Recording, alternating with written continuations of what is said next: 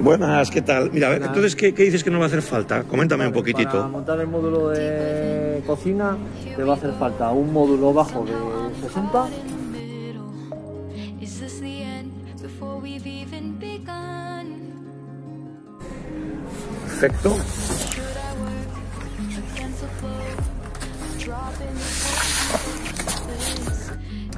Y nos va a hacer falta también el módulo alto de 60.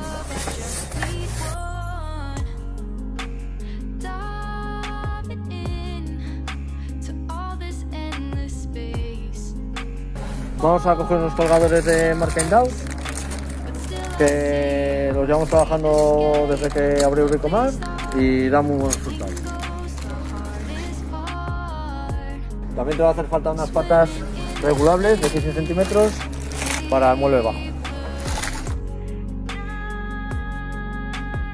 Tenemos dos clases de bisagras, las amortiguadas y las simples. En este caso vamos a llevar las amortiguadas porque tienen freno y al final la puerta cierra sola y no da golpe.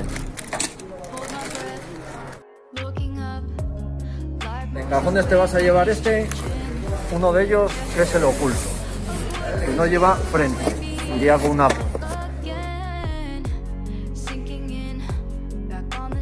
y vamos a coger este cajón simple, que la diferencia con el anterior es que este lleva frente de cajón y el cierre no lleva amortiguación.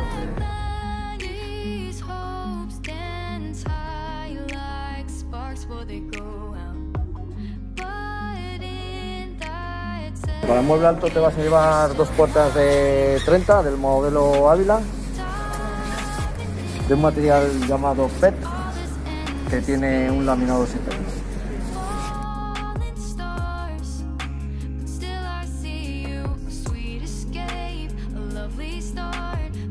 Para completar el mueble bajo llevamos un frente de cajón de 1460. swimming in this deep, deep blue. I know. De tiradores vamos a coger el modelo segundo, un par de ellos, uno para la puerta y otro para el frente de cajón.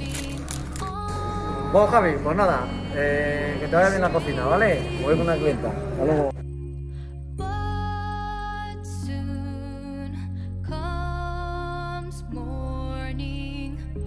For now I'll embrace our wondrous.